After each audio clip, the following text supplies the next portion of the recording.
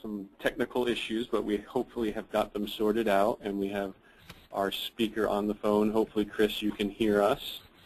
Um, and um, I'm George Yohrling. I'm Director of Medical and Scientific Affairs here at HDSA, and I want to welcome you to our latest installment of our research webinar series. Uh, this month, I'm excited to have Dr. Chris Ross from Johns Hopkins, who will be uh, presenting to us on the results of a recent uh, clinical study that was completed in Huntington's disease patients. Before I do that, I just, for those new to the research webinar platform, I just want to um, give you a little bit of information about how these work. Uh, you're all muted, uh, but you can ask questions at any time during the presentation just simply by going to the uh, questions box, which I've highlighted here in red. Uh, type your question and click send, and uh, we'll be reading these to Dr. Ross at the end of his presentation. If you know others that, uh, or if you have to dart out, um, or you know others that would be interested in hearing uh, this presentation, we are recording this, and it'll be available on our website uh, to watch at your leisure or convenience uh, within a week of today. And they're all found on, on our research tabs in, under research webinars. And just finally, uh, there's a couple exciting talks that I'm, I'm, working on for the future in September, October. In September 26th, our speaker will be Dr. Ken Marek from uh, the Institute for Neurodegenerative Disorders, and he'll be speaking on uh, PDE10 imaging in HD patients. PDE10 is a, a, a hot target and, and, that you'll be hearing a lot about um, as, as drug developers are looking to design inhibitors of this enzyme uh, for Huntington's disease and other diseases. And in October, uh, late October, just finalizing the date, we'll have Dr. Philip Gregory, who's the Vice President of Sangamo Biosciences, speaking on zinc finger proteases, or Z CFPs, uh, as a novel new treatment uh, for Huntington's disease. So we're excited about that. So stay tuned. You'll be getting emails on that. Uh, and as always, if you have any updates or, or, or ideas for topics you'd like to hear more about, email us at researchupdates at hdsa.org, and we will do our best to uh, find a speaker to address that topic. All right. So let me introduce our speaker. I'm, I'm very excited to have Dr. Chris Ross uh, joining us today from Johns Hopkins. Dr. Ross is a professor of psychiatry, neurology, and neuroscience. Uh, he's also the director of the Division of Neurobiology, the director of the Molecular Neurobiology Laboratory, and the director of the HDSA Center of Excellence at Johns Hopkins University. And on top of that, he's a former Coalition for the Cure investigator for HDSA. Uh, Dr. Ross received his bachelor's degree from Princeton University and his MD and PhD from Cornell Medical School, or Medical College. Uh, Dr. Ross has been is is a leader in the HD community and research field, and, uh, and in addition to working in HD, his interest in Parkinson's disease as well as other uh, diseases such as schizophrenia, where he uses a wide array of uh, different technologies uh, biochemical as well as different animal models to identify new targets and uh, potential drugs for Huntington's disease. So with that, I will turn it over to Dr. Ross. And Chris, we're going to make you the presenter, so we'll, everyone should be able to see your screen.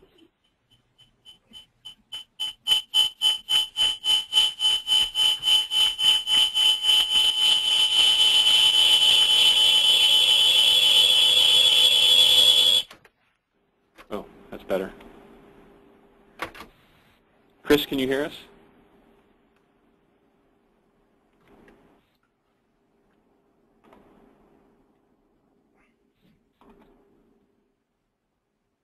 Chris?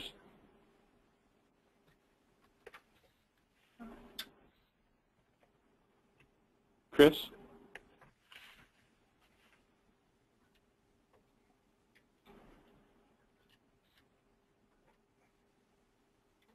Chris, are you there?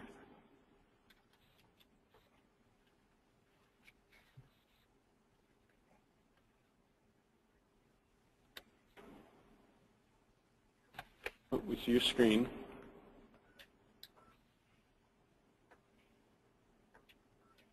But we can't hear you, Chris.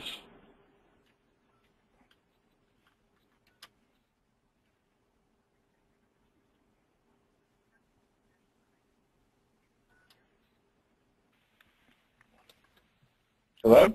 Hey, Chris. Okay, I was getting a lot of feedback. I'm now hearing an echo. Are you Well, guys we'll go mute. echo? Hopefully that's part of, that's part of it. So we're going to go mute, and we're going to turn it over to you, and you can just go ahead and, and show your presentation from your screen. Okay, great.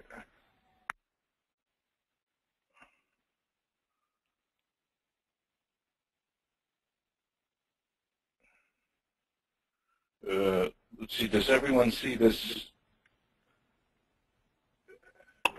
Maybe Yes, we see it. There we go. Okay, so I'm going to discuss the use of um, pre-manifest subjects in clinical trials. I'm getting a, a terrible echo. Is it, everyone else hearing that? I guess there's no way to know. Well, I'm hoping We're not- people are hearing I'm me. not hearing anything here in, in the New York office. You sound fine coming through to us. Okay. Uh, me I don't know if you have like a cell phone or something see if that close, microphone or an iPad maybe. Is that better? Still echoing Uh, to. It sounds worse. Okay. How about now? That sounds good. Let me see if I can not put the headphone near me. How's that? It still sounds good. Okay, so um, if I don't come in well, um, see if you can yell and let me know because what I've done is I've put the earpiece away from my ear, but I've got the microphone near me, and I'm hoping that that's coming through okay. Is that working? You sound fine here, Chris. Okay, great. Okay. So let me go ahead then. So I'm going to talk about um, clinical trials in pre-manifest HD. Um, I'll talk actually fairly briefly about the prequel study um, and spend more time on uh, general uh, HD topics. Now let me see if I can advance the slides.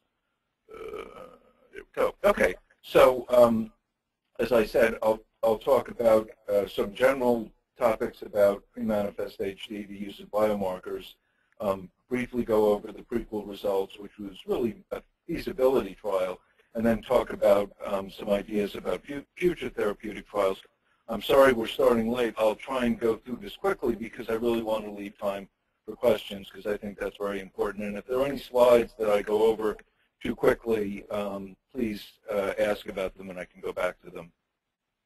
I have no conflicts of interest. I receive uh, funding from the NIH and from foundations and, um, of course, the Center of Excellence for the um, uh, Clinical Center. So just to review briefly the um, aspects of HD that are, are relevant to the talk, as we know, it's a, it's a brain disease. This is a um, normal, a, a half brain from a normal subject, and this is a half brain from an HD subject. And you can see the huge shrinkage of the caudate nucleus here versus here, and putamen here versus here.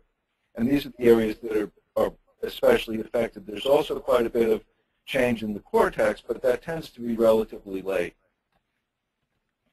And as we all know, HD is caused by an expansion of a CAG triplet repeat in the Huntington gene and protein, and that enables us to make rough predictions as to the age of onset um, of the disease in someone who ha has been tested for the gene and its mutation but does not yet have symptoms. And that's because there's a threshold for getting HD.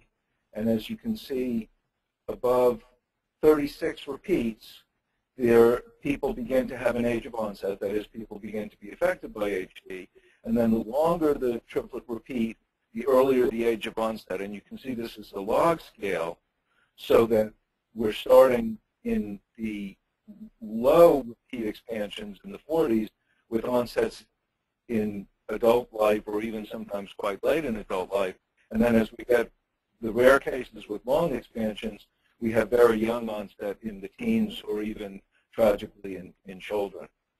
So this allows us to predict approximately what the age of onset will be, but you can see there's a lot of variability, particularly for the adult onset cases where prediction is, is most relevant.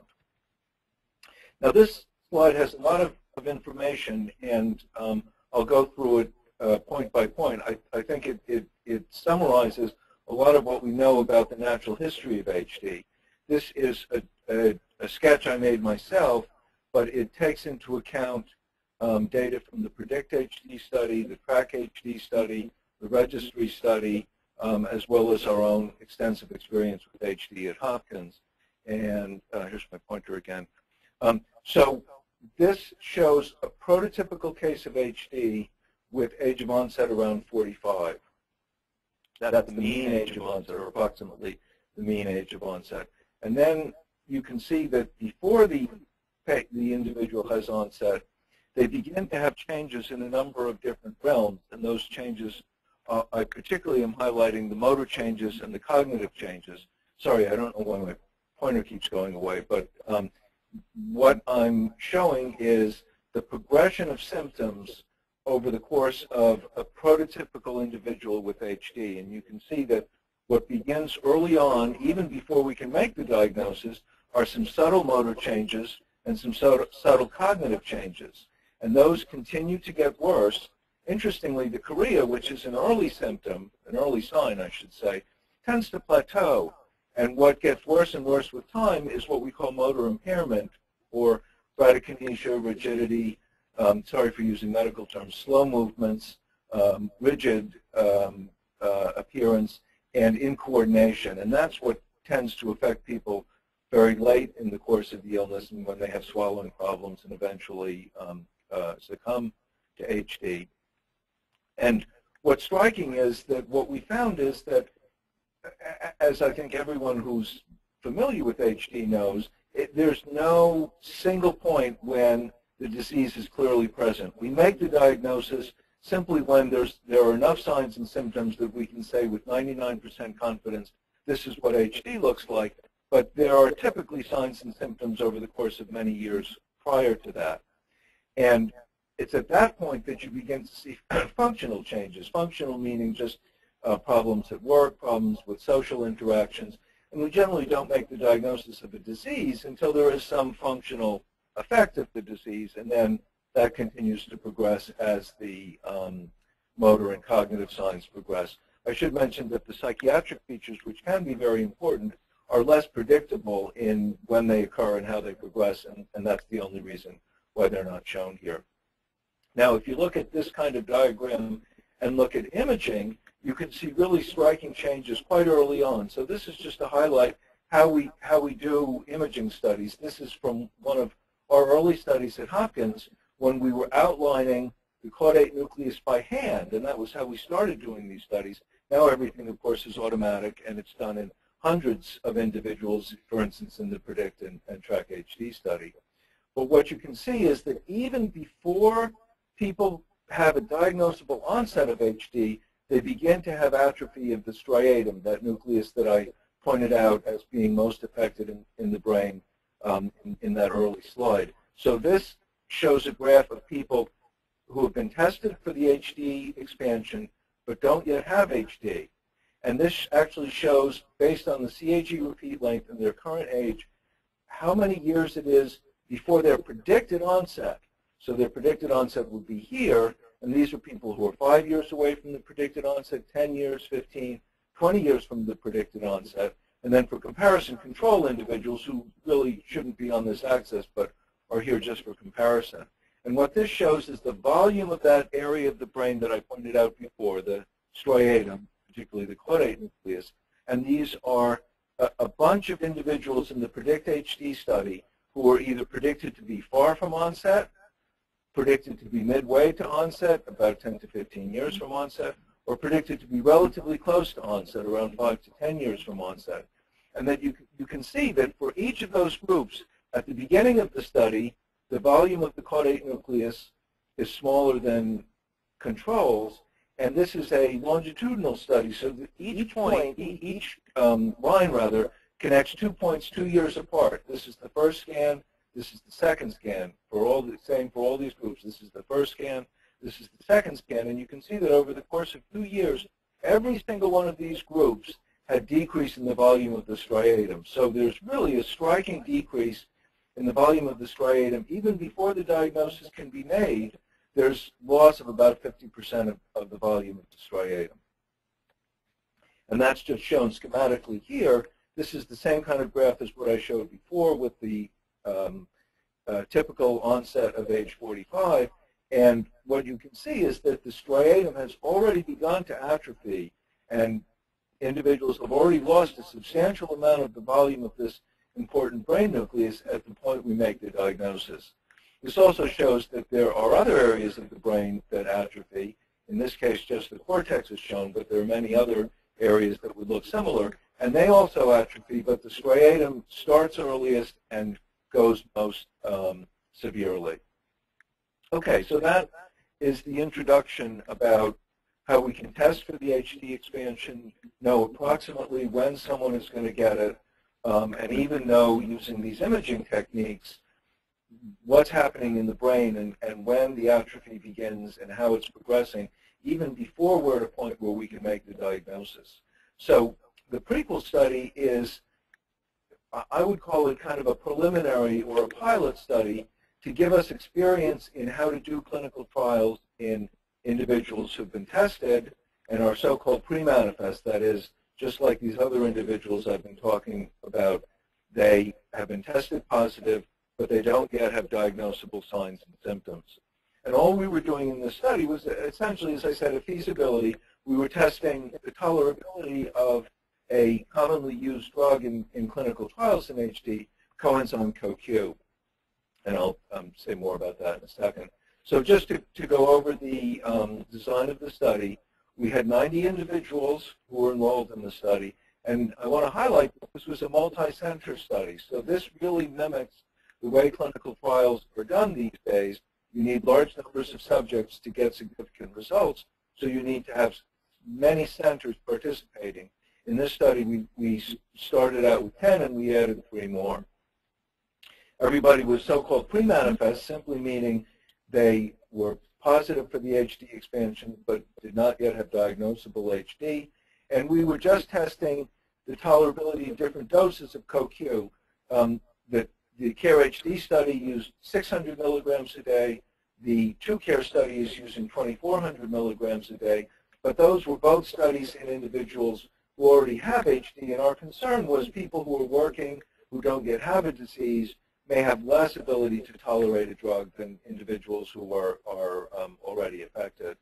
Individuals were followed for 20 weeks, and the primary outcome, as I said, was, was purely tolerability.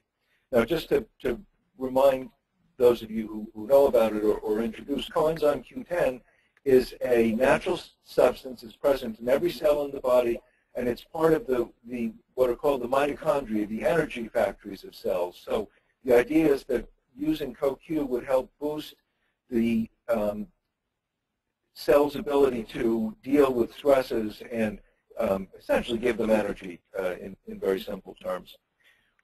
Another thing we were doing in this study was testing the um, suitability of a blood biomarker. So what I showed you before were all data from brain imaging. And brain imaging is wonderful because we can see exactly what's going on in the brain, but it's, it's um, a complicated procedure. Uh, it, it's fairly expensive. It would be great if we had blood biomarkers, that is, markers of the progression of HD that we could measure in the blood.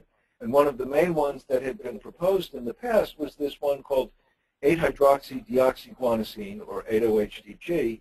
Um, the, the, chemistry of this doesn't matter, and as, as it turned out, it was not a very usable biomarker, and I'll show that data in a second. But this is thought to be a reflection of the kind of cellular injury that CoQ is supposed to protect from.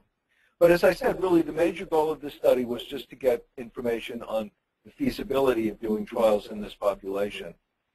And this is our enrollment graph. So we started um, enrolling subjects in March of 2010. And as you can see, we were cooking along at a nice pace initially. I should mention, by the way, that all our sites initially were sites that were also in the Predict HD study, and so we knew they had quite a number of people who were um, eligible for the trial. But then we kind of hit a point where they were not at. The sites were not as enrolling as rapidly, and so we had to add several sites. And we also adjusted the study. We um, found, I think, that because people are not yet affected by HD, they're working, and it's not so easy for them to come in for a lot of visits to a center. So fortunately, we were able to streamline the study so not so many in-person visits were necessary. So I'm going to just show a little bit of, of the data from the study. Um, the, the first was um, the, the coenzyme Q10. So we were administering coenzyme Q10 three different doses, 600 milligrams a day, 1200 milligrams, 2400 milligrams a day. As I mentioned, this was the dose 600 milligrams used in the CARE-HD study. This is the dose 2400 milligrams a day being used in the 2CARE study. We found somewhat to our surprise that while all three doses caused increase in the levels, they were all pretty much equivalent. So what this graph shows is for each of the three groups, the beginning of the study, week zero, 12 weeks into the study, and 20 weeks into the study, for 600 milligrams a day, 1,200 milligrams a day, and 2,400 milligrams a day. Everyone has some CoQ in their blood because, as I said, it's a natural substance present in every cell in the body. So everyone had a baseline level of CoQ. Everyone who was taking the drug had their levels increase, but there was not actually a big difference in the amount of the increase with the different doses. So I think what this suggests is that we may not need to give such high doses of CoQ because we get um, reasonable levels with a lower dose. There's a trend for this to give a higher level, but that was not statistically significant. Uh, and I should say, I'm not showing the data, but all three of these doses were tolerable. There was some, again, trend for there to be more adverse events, which were mostly things like minor nausea or uh, minor diarrhea in the higher dose. Um, but all subjects, all of the groups found the, the drug to be tolerable, and, and most of the subjects in the study were able to complete the study on, on their assigned dose. Um, so then I mentioned we were testing this biomarker. I'll just show these data very briefly because it turned out that the biomarker did not respond to CoQ treatment. So here's the same graph the three different groups with the different doses, the beginning of the study, and then two points during the study, and at no time did the, the 8-OHDG levels change. And furthermore, when we looked, if you'll remember that graph where I showed estimated years to onset versus the biomarker, the um, caudate volume, and there was a very striking relationship. By contrast with 8-OHDG, this is just a random set of, of dots, so there's no relation between the, the expected years to onset and the 8-OHDG level. So unfortunately, this turns out not to be such a great biomarker, um, but that's why you do clinical trials, because you need to know this kind of thing. And I think what this says is we have to keep looking for other biomarkers, but in the meantime, we can continue to use brain imaging, which has turned out to be so um, powerful and so, so, successful. Now, I want to just um, end the discussion of the prequel uh, data with some um, really initial analyses. And I, by the way, I should say um, all the data I'm showing you is still preliminary. The study is completed, the data analysis is completed, but we're still writing the manuscript and um, we have not yet submitted it. So this has to be considered um, preliminary. It has not yet undergone peer review and, and, and is not published. And, and this analysis in particular is, is relatively recent and um, still quite preliminary. But what this shows is if you assume that a drug had a certain effect, let's say it slowed the progression by 50%, which would be quite dramatic, um, but just keep that in mind for a minute. And if you did a five-year study, how many people would you need to have if you used people just like Prequel? So remember, Prequel enrolled anyone who was um, positive for the HD expansion mutation but not yet affected. And what this shows is that using that criterion and looking for a treatment effect to delay the diagnosable onset of HD, we would need 500 and something subjects to study for five years to see this really quite substantial effect. So that's a feasible study, but it's a um, quite a large study. It's actually around the size that studies currently being done are, like uh, 2CARE. But then look at if you had a smaller effect, which is more like what the current drugs we're studying are thought to have, you would need a very large number of subjects. So what we wondered is, what if you selected people based on their age and their CAG repeat length so that you could predict that they were likely to have onset relatively soon.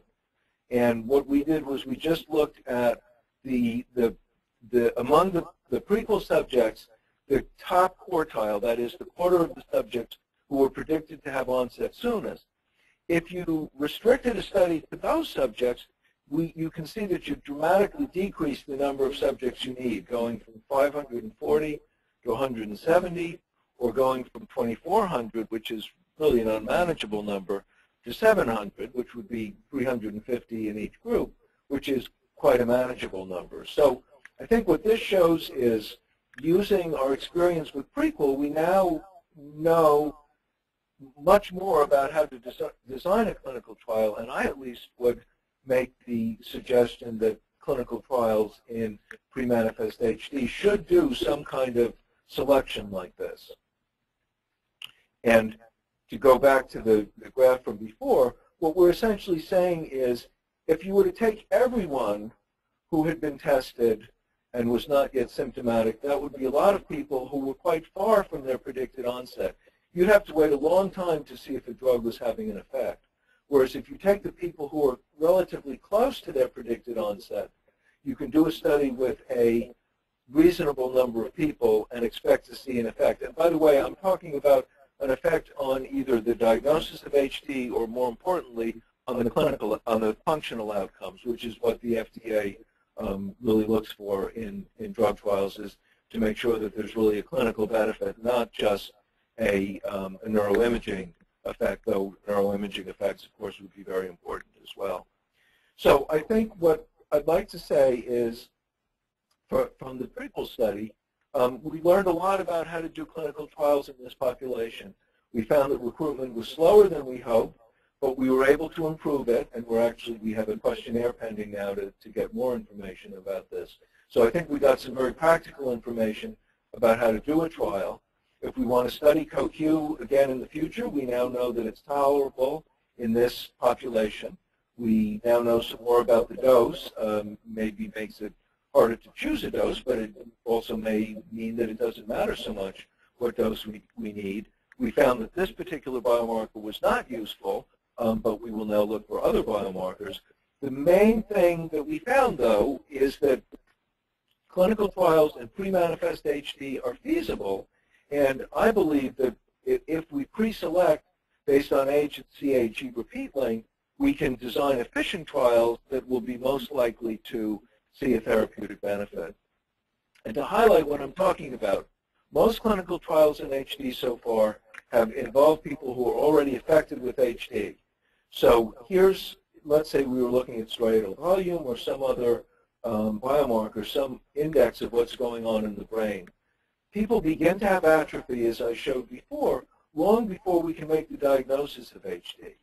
Most trials so far are using people who have already been diagnosed with HD. So even if a treatment is effective, all it's going to do is slow the progression of the disease that's already present. And as you saw, people have already lost a substantial amount of the important brain regions. So what we would like to do is do our trials in pre-manifest HD in subjects who are positive for the HD-CAG repeat expansion but don't yet have the disease.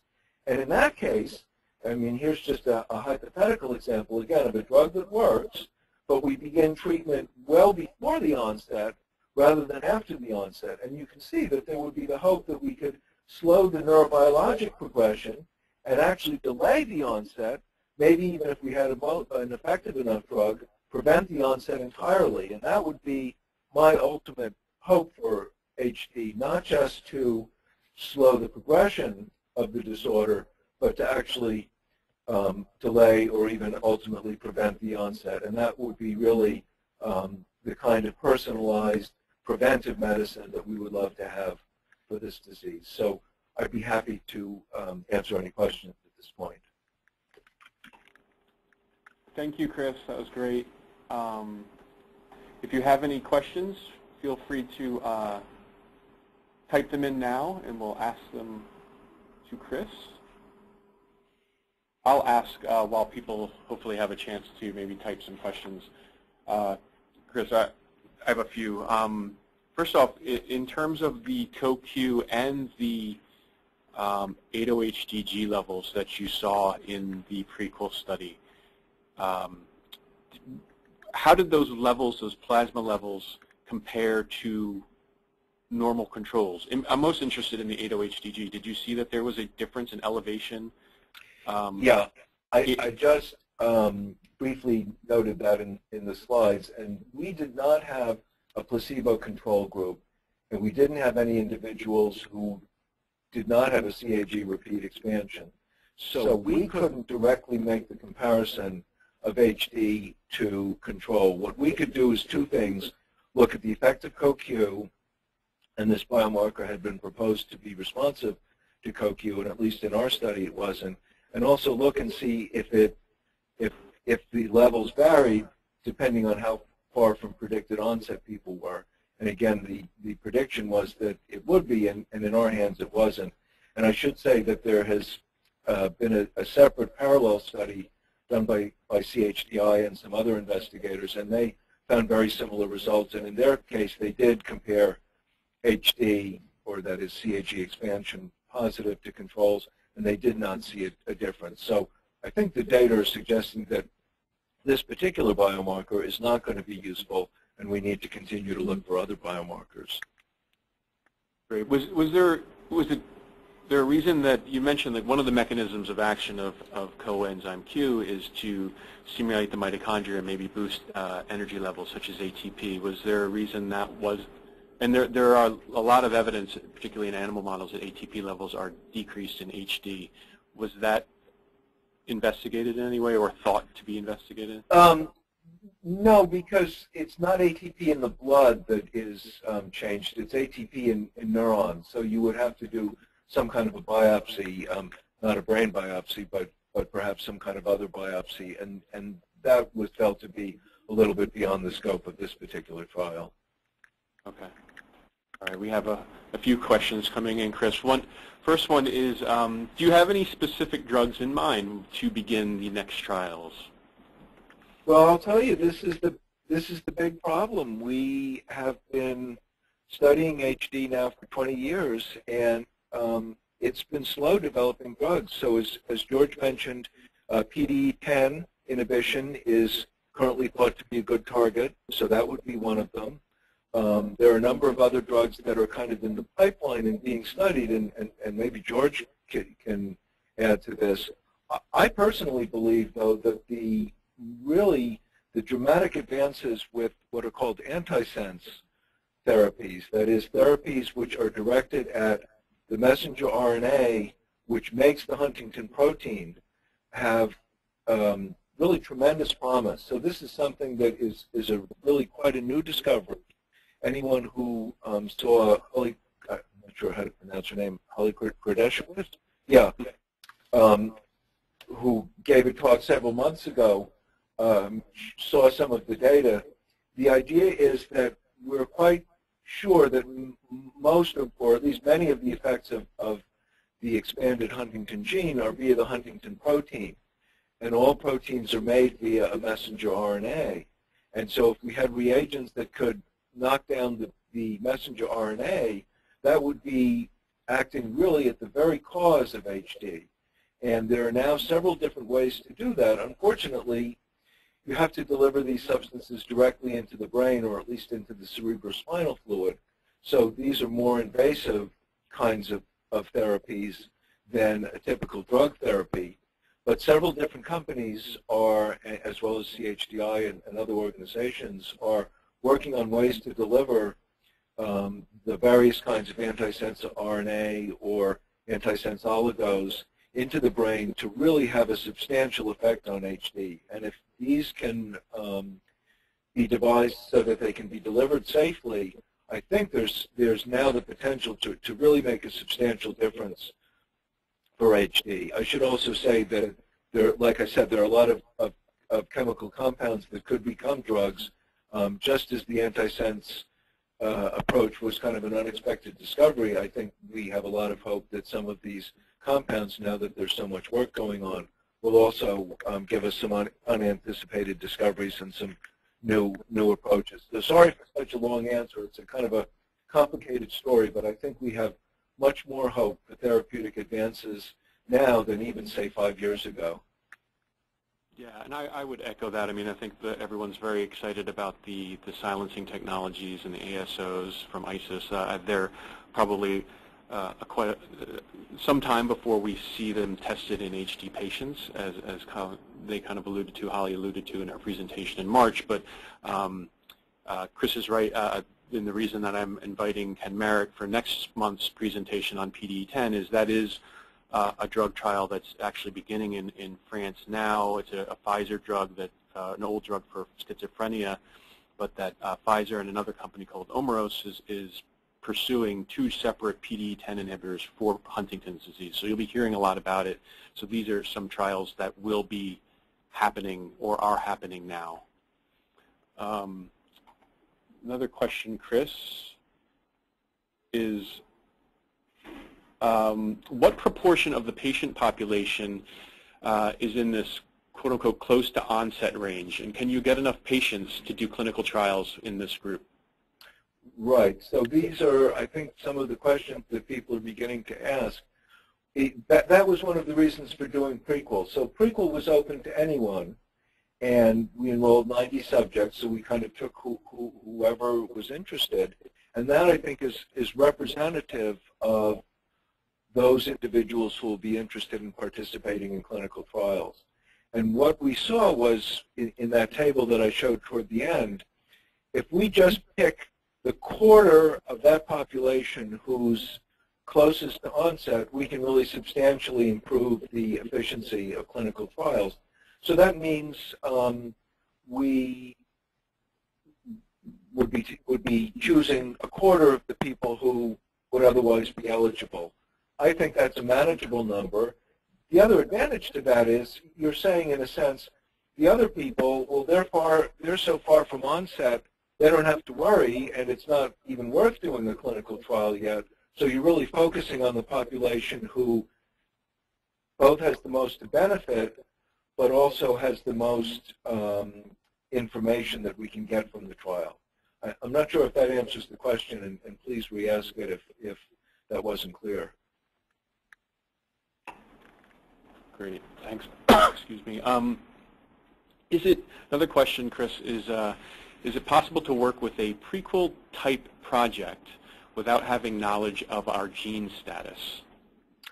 Yeah, that's that's a great question. So one of the big controversies, or I shouldn't say controversy, but one of the big uncertainties is when and if one should get tested if one is at risk for HD there have been two studies that have um, kind of taken opposite approaches to that. The PREDICT-HD study has looked only at people who are tested and know that they're going to get HD.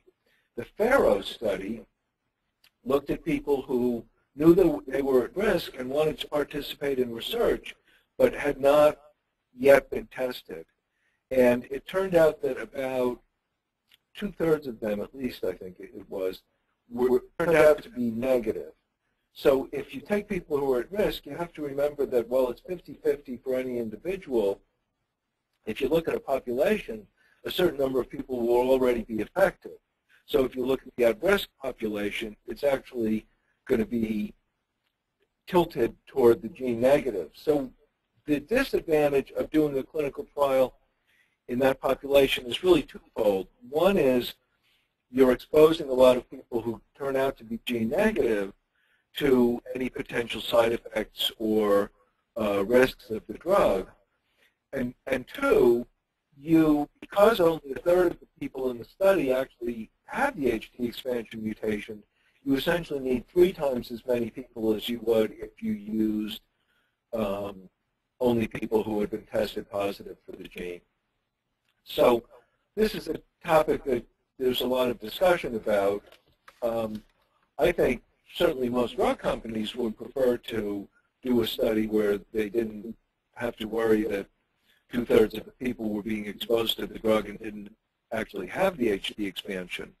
Um, another way of thinking about it is as therapeutics get closer and closer to being realized, I think that the sort of risk-benefit calculation for being tested will change, and people will start thinking that there's more benefit in being tested than maybe there appeared to be in the past. And my my guess would be we'll have more more people who have been tested who are potential subjects in, in future trials.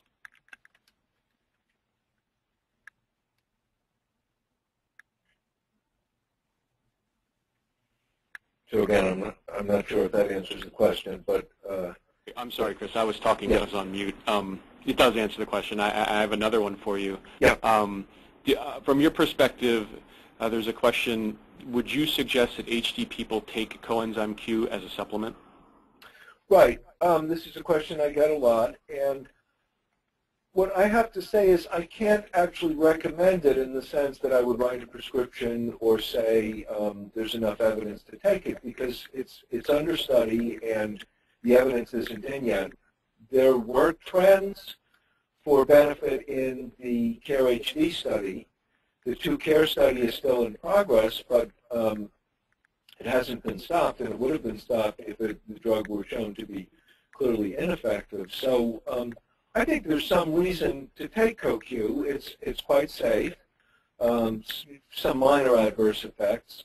Um, I think if I were at risk for HD, I would probably take it. Um, so I think it's a reasonable thing to do. But again, there's not enough evidence there for me to actually recommend it or, or prescribe it. Then the, the next question is, if someone is considering taking an experimental medication like CoQ, um, how much should they take? Now, I, I should mention that CoQ is available over the counter. You can get it at, at, at most large um, drugstores. Um, it's now available in fairly high doses because the, the doses that we're using in these studies are much higher than what had been considered before. You can get, I think, 100 milligram or even maybe 200 milligram pills. And it's hard to know exactly what to think about. The, the range of doses that have been studied are between 600 milligrams a day and 2,400 milligrams a day. We didn't see any big difference in the blood levels um, in our study, but our study is a small study, and, and um, uh, you know other studies may find something different. So I think you could make an argument for taking it anywhere between 600 and 2,400 milligrams a day if you chose to take it. Uh, working on that, we just got a question in saying that if would there be a reason for people who have started to already exhibit the symptoms to take CoQ? Well, yes. Um, as far as we know, the biology of HD is quite consistent. If, if you look, for instance, at those pictures of the striatal atrophy, it's pretty steady over the course of even the period before you can make the diagnosis and after you can make the diagnosis and are affected. We don't know any reason that the biology should, should be different. And so I think if one were to decide to take a drug like CoQ, it would be just as reasonable to take it if you were um, positive for the mutation, or for that matter, if you didn't want to be tested and you were just at risk. Um, and it would be just equally as reasonable to take it if, if you were affected. Again, I, I can't quite recommend it because the evidence isn't in, but I think it's certainly a reasonable thing to do. Um, there's one quick question. I, I think I can answer this for everyone. Uh, is, we were talking about the PDE-10. Uh, the question was, was there a PDN, PDE-10 trial in France for individuals who are pre-manifest? And I'll have to double check, and I can get back to you, but I'm pretty sure that this, these early trials on are in early manifest HD patients. I'm not sure if you know the answer to that, Chris. I, I- I think I think that's right, and I think in general, people are figuring that trials will be done in, in people who are manifest first. I, I would like to really um, try and work toward doing trials in pre-manifest individuals as early as possible and as soon as possible, because I think that's where the greatest benefit is going to be. Um, you know, so I'm if if there's a, a decent drug that has some evidence of effectiveness, I would love to organize another bigger trial really to look for efficacy in pre-manifest HD. Um, we'll have one time for one or two more questions. Um, this is a question from a mother, Chris, and I, hopefully you can uh, follow this. Uh, I, my daughter was tested about two years ago and was positive, but she was not told the number of her CAG repeat. uh, she was told that the number was not necessarily helpful. It was more helpful to realize that since uh, this came from her father, the gene mutation came from her father, one-third of the affected children would develop symptoms at the same time as their father, while two-thirds would develop symptoms earlier. This study, I guess the prequel study, relies on the CAG repeat. Is, is this something that has changed over time? Yeah, that, that's, that's a very interesting question. So before we understood the exact significance of the CAG repeat, there was a lot of inclination to say, well, let's not make that part of routine testing because uh, we don't fully understand it. My own view is at this point there's so much evidence about exactly what the CAG repeat means that um, I think people should know their CAG repeats. They can certainly ask for it. We, when we do genetic testing, we always do divulge the, the length of the repeat. It's important to understand that its predictive ability is limited, particularly for adult onset cases. You saw the wide range of variability of the age of onset. On the other hand, there is a substantial difference in the mean age of onset, even say between 42 repeats and 45 repeats, which are, are both quite common. And so I, I personally do think it, it's, if you're going to be tested, I, I think it's very reasonable to um, get the information about what the CAG repeat length is and exactly what can or cannot be deduced from that. I, I hope that answers the question because that's an important question.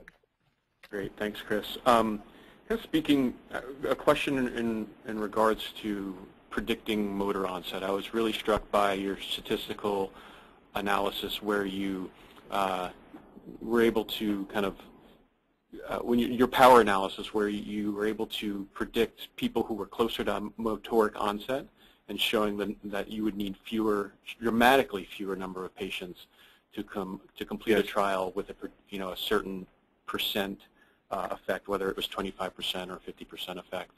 Um, in, in your opinion, are the the statistical models that people are using to predict motoric onset in HD good enough, or can we do better? Should we be doing working on that and, and making better predictions to fine tune that that uh, who will be exhibiting yeah. symptoms? Yeah, so very interesting and complex question. Um, I think the, the ability of the CAG to predict, it, it, we know what that is, and it's highly statistically significant. But as I said, for individuals, particularly for um, adult onset, there's a lot of variability, so it's it's hard to to be too certain about it. But for the design of clinical trials, yes, it's it's a very powerful predictor, and I think makes a big difference. And then I would add the other point that there's quite a bit of, of variability that is explained that, that looks to be genetic, but is not due to the CAG repeat itself. And so we and a lot of other people now are looking for other modifier genes that don't themselves cause HD, but that can change the age of onset to either make it come later or earlier, and that might help explain why there's so much variability. And if we knew those, what those genes were, they would have two benefits. First, they would help in predicting the age of onset, but much more important, because they can modify the age of onset, they would be the ideal therapeutic target because we would know from humans biologically that they could potentially be used to delay the onset. Great. That was great, Chris, and thank you very much. Uh, we're, we're now at 1 o'clock, so I, I, recognize people have other things to do or want to go grab some lunch or get on with their day. Uh, so um, thank you, Chris, for joining us and, and, taking your time out of your busy day and presenting to the families and patients uh, uh of HDSA. Sure, my pleasure, and best wishes to everyone. Thank you so much.